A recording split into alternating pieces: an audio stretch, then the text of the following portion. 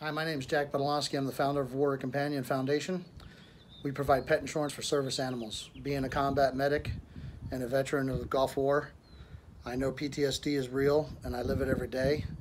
I know the animals that we um, provide the pet insurance for, for our service members, are and the care and the need that they need. It takes the edge off of whether or not we can afford to have a, a, a, um, a service animal with us.